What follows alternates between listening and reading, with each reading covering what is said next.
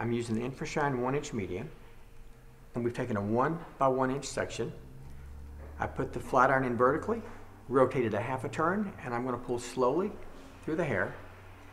This is gonna create collapse of the scalp, but maximum expansion laterally.